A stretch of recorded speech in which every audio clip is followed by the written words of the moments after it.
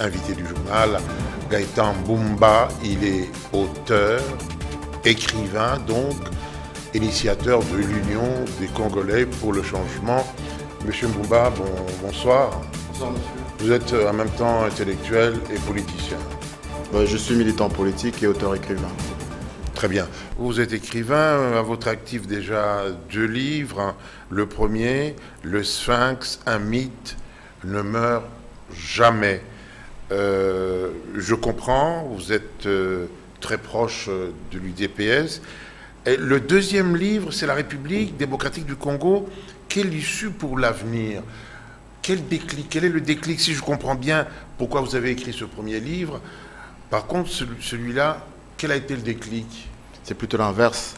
Donc la, la, RDC, quelle issue pour l'avenir? Ah bah, Pour l'avenir, piste idée alternative, c'est le premier ouvrage. Donc écrit et publié en 2016. Et euh, Le Sphinx, un mythe ne meurt jamais. Étienne Tshisekedi, l'éternel symbole de la démocratie en RDC, c'est le second, donc euh, écrit et publié en 2017, bah, juste euh, après l'annonce de sa mort. Donc la, question n'est plus de mise, parce que de toute façon, c'est normal qu'on puisse écrire ce Tshisekedi et qu'on puisse dire, ce que, affirmer ce que vous avez dit, un mythe ne meurt jamais. Et à vous en croire, Tshisekedi, le mythe ne, mourra jamais. Effectivement, parce que Tshisekedi, c'est un personnage déjà historique. Durant plus de quatre générations, il a eu une activité politique intense et a joué un rôle de premier plan euh, au Congo. Donc en incarnant la démocratie, d'abord dans une république qui était ancrée dans la dictature, il nous a montré le chemin des libertés civiles pour, euh, ainsi dire, de la démocratie. Et donc il méritait vraisemblablement, à mon sens, un ouvrage pour euh, retracer son histoire, parce que c'est une biographie où j'essaye d'explorer euh, sa vision, euh, ses défis, aussi ses controverses et naturellement son héritage politique. Il a eu plusieurs occasions de gérer le pays, il, il les a évitées. Je ne dirais pas qu'il les a évités parce qu'on l'a toujours qualifié de celui qui faisait la politique de la chaise vide. Moi je dis dans mon livre ce n'est pas forcément un refus de pouvoir participer au pilotage du destin de sa nation, c'est plutôt un refus systématique parce qu'il ne voulait pas un compromis qui sacrifiait l'intérêt supérieur de la nation. Et il ne voulait pas s'aventurer dans, un chemin tortueux qui allait mettre le pays, le pays en péril. Donc, à mon sens, il a plutôt bien joué. Parce que souvent, Ce sont quand même de rendez-vous. Souvent, il s'est mis à l'écart et la suite, on peut en parler, ça a toujours été catastrophique. C'était des rendez-vous manqués, il aurait pu redresser la barre c'est bien de redresser la barre, mais il faut redresser la barre lorsqu'on dispose des moyens, des atouts pour être en mesure de le faire. Donc si, en l'occurrence, il, se désistait, parce que vraisemblablement, pour lui, l'intérêt supérieur de la nation était bafoué et il ne voulait pas euh, s'aventurer dans, ce genre de compromis. On peut donc euh, euh, le reprocher de manquer de réel politique, mais enfin, donc c'est un monsieur qui avait de la constance, qui avait des valeurs, qui était un peu décalé de ses contemporains, il était toujours incompris, parce qu'il poursuivait des valeurs qui, jusqu'à ce jour, euh, euh, compliquent. Vous avez commencé à l'apprécier à partir de, quelle année? Vous avez 40 ans aujourd'hui, très jeune. Oui, très jeune, mais j'ai euh, été bercé par la politique très jeune. je l'ai vu en action parce que je suis son contemporain. Et j'ai eu le déclic en 2016, lors de son dernier meeting à l'esplanade, je crois, des Stades des Martyrs.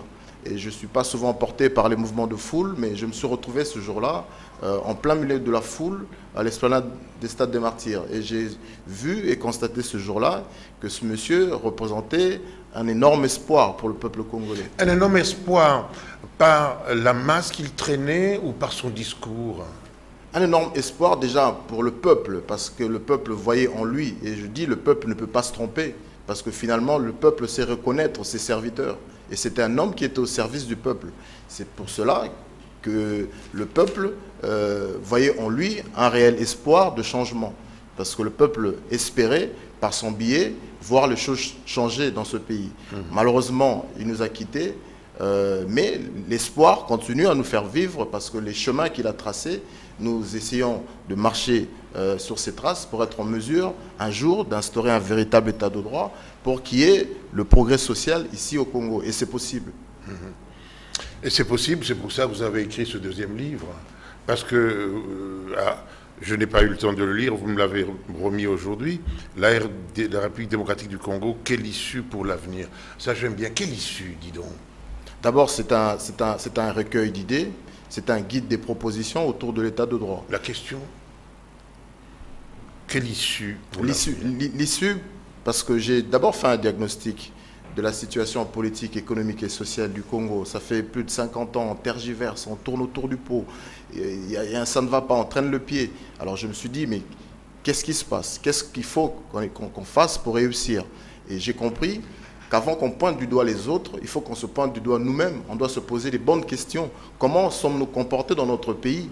Et j'ai relevé que le Congolais s'est méconduit dans son pays, a mis en avant les antivaleurs, la gabegie, les détournements de fonds publics, la quête des intérêts individuels, et, tous ces méfaits, tous ces antivaleurs ont obscurci son intelligence, l'ont empêché d'exprimer ses compétences. Raison pour laquelle, au bout de 50 ans, nous en sommes là, encore en train de patauger. Et je dis que euh, l'issue, c'est le changement de nos mentalités. Il faut que le Congolais puisse militer pour les valeurs humaines et républicaines, qui est le socle euh, d'un véritable redressement euh, par le biais d'un véritable état de droit. Et, oui. Et cela, c'est possible parce qu'il faut qu'on s'y mette dès maintenant dans le cadre euh, d'un effort national, se, sensibiliser, vulgariser, utiliser les lieux de reproduction de l'image et drainer aussi les leaders d'opinion, des églises, les, artistes musiciens, etc. Dans le cadre d'un effort comme ça, global et national, pour qu'on arrive à militer sur les valeurs. Des valeurs, pourquoi? Parce que sans les valeurs humaines et républicaines, on ne peut jamais arriver à redresser ce pays. Très bien. Alors, vous, vous restez euh, le plus clair de votre temps en, Belgique. Euh, quelle est l'image du Congolais en Belgique, là où vous vivez? Que ce soit en Belgique, en France ou, ailleurs Un ambianceur? Ben, Depuis, le Congolais était taxé effectivement dans l'ambianceur, comme vous le dites. Euh, des individus qui se livraient plus aux futilités, plutôt euh, à se tourner euh, sur le sort de leur pays. Mais ces dernières années, je dirais ces deux dernières décennies, ont été capitales parce que le centre de gravité des Congolais, finalement, ce centre a changé parce que le Congolais euh, se préoccupe de plus en plus à ce qui se passe dans son pays. Donc les mêmes gens hier qui allaient plus danser, qui allaient plus livrer à la musique, sont les gens qui sont aujourd'hui assez sensibilisés, qui, ont pris un, degré de conscience pour essayer de trouver ou de réfléchir euh, aux problèmes qui se posent dans leur pays. Des, des mouvements des combattants qui ont vu le jour, c'est des, des gens mécontents par rapport à ce qui se passe dans leur pays et ils manifestent justement un, rejet ou un mécontentement parce qu'ils espèrent euh, voilà, qu'un jour les choses vont changer dans leur pays. Mais les combattants, ça ne date pas d'hier. Euh, même avant, les combattants étaient toujours là. Non, les combattants étaient toujours là, mais il faut quand même reconnaître que ces deux dernières décennies, ce mouvement a pris de l'ampleur. Euh, par rapport aux années peut-être passées, mais je peux souligner que en tout cas ces deux dernières décennies, on voit de plus en plus les Congolais se mobiliser euh, pour leur pays. En rapport à, tout ce qui s'est passé durant plus de 20 ans, des massacres euh, qui, qui, ne cessent de se répéter jusqu'à ce jour, tout ça, ça a mis le Congolais dans un état de frustration, euh, de traumatisme, je dirais même, parce que voilà, on se sent concerné par ce qui se passe au pays, on veut que ça change. Donc c'est un sentiment de vouloir le changement et un bien-être. Mm-hmm. Autour de quelles valeurs voyez-vous le Congolais se mettre ensemble? Parce que vous êtes un penseur, alors donnez-nous vos idées. Eh bien, la valeur fondamentale, d'abord, c'est l'amour de la patrie, c'est le patriotisme, c'est l'amour du prochain. On peut le définir aussi simplement, parce que si on a de l'amour du prochain, on fera en sorte qu'il y ait de l'harmonie, qu'il y ait de la solidarité dans une société pour apporter des solutions aux problèmes qui se posent et non se préoccuper de ses propres intérêts au détriment de la majorité. Et donc la valeur fondamentale, c'est l'amour de la patrie qui nous a manqué déjà depuis plusieurs années. Parce que ce n'est pas que le Congolais est incompétent, bien au contraire, mais c'est justement parce que le Congolais a confondu les valeurs et les antivaleurs. On a beaucoup plus mis en avant euh, les mauvais comportements.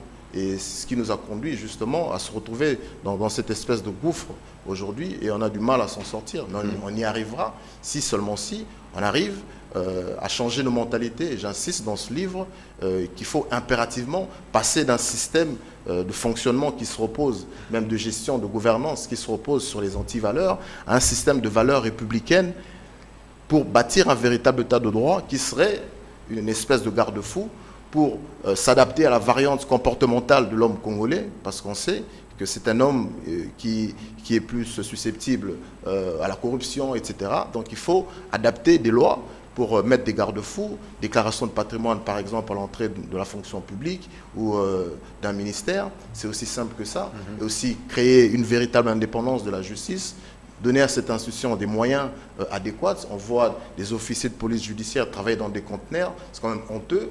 En, 2018, enfin, pardon, en 2019, c'est quand même scandaleux. Donc, ça veut dire qu'il faut donner les moyens à la justice pour insister sur le caractère répressif et dissuader les gens à aller faire de la politique vaille-vaille. Parce qu'aujourd'hui, on se rend compte qu'il y a un appel d'air, il y a un pas du gain. On fait de la politique, pas pour les bonnes raisons, on fait de la politique pour s'enrichir. Et tant qu'on fera de la politique pour s'enrichir, naturellement, il faut s'attendre à des, à des, résultats désastreux. Il faut redonner de la valeur à, ce, à, ce, métier de politique. C'est pour ça qu'il faut bâtir un véritable état de droit. Et si vous êtes revenu, c'est pour faire un peu de politique vous... Moi, je suis militant politique depuis la Belgique. Donc, je préside une association politique, l'Union des Congolais pour le changement. On a voulu en faire un cadre de réflexion, d'échange, mhm. euh, de débat, d'idées euh, par rapport aux problèmes qui se posent dans notre pays. Donc c'est un collectif d'intellectuels. Je préside cette association. Mhm. Naturellement, euh, on dit si vous ne vous occupez pas de la politique, la politique s'occupera de vous. Donc on essaye, euh, tant bien que mal, à réfléchir sur les pistes qui pourraient être salutaires pour redresser notre pays. C'est la raison pour laquelle, d'ailleurs, j'ai écrit cet ouvrage. Mhm. Alors, dernièrement, on a parlé des émoluments des euh, des sénateurs et, disons, des parlementaires. Euh, vous, vous pensez quoi à ce sujet? 13 000 dollars, semble-t-il, c'est trop, pendant que l'enseignant du secondaire, eh ben, du primaire... J'allais justement relever cela, cet écart de salaire entre, je pense, les piliers d'une société, les enseignants. Si moi, je suis ce produit que je suis, c'est grâce à ces enseignants qui nous ont fourni la matière, qui nous ont éduqués, qui nous ont instruits. Mais regardez dans quel état ces enseignants se trouvent. C'est quand même euh, ridicule. Donc je pense que... Vous auriez proposé quoi?